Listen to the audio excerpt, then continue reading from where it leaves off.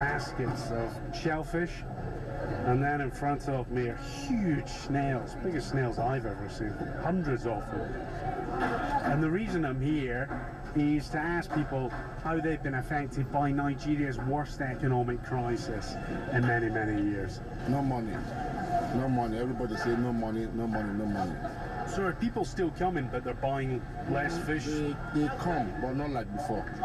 So what was it like before? People would come, they buy swordfish, they buy lobster, they would buy a kilo of prawns. Buy per kilo. At times, the restaurant will supply 100 kilo, 200 kilo, but the sales falls now to 50, 20, 10. At times, none at all. And in 20 years, this is the worst you've ever seen. This is the worst. I'm tired. You know, I'm even thinking of relocating to another place. Moving to another market. No, to another country if, if I have the chance. I'm tired of this place.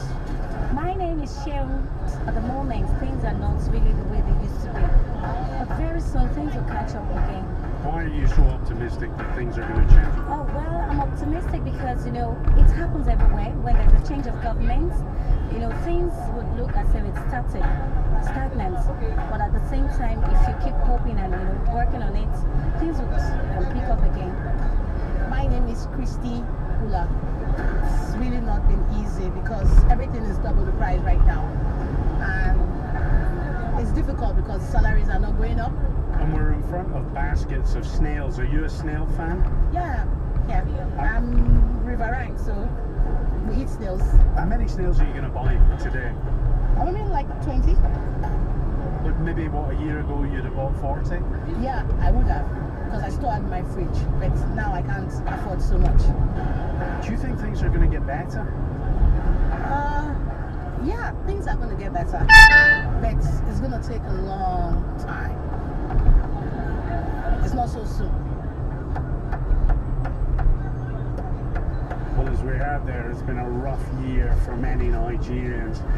The government now has made moves to try and improve the economy. One of their big new policies is to liberalise the foreign exchange rate, and that will make it easier, according to analysts, for businesses to get their hands on dollars, and that's important because many products, as well as parts for machinery, are imported. The problem with the policy is that it's likely to push up inflation and that will hit the poorest in the country even harder. But economists say that the short-term pain should lead to longer-term gains for the Nigerian economy. And the people at this market are certainly hoping that that is the case.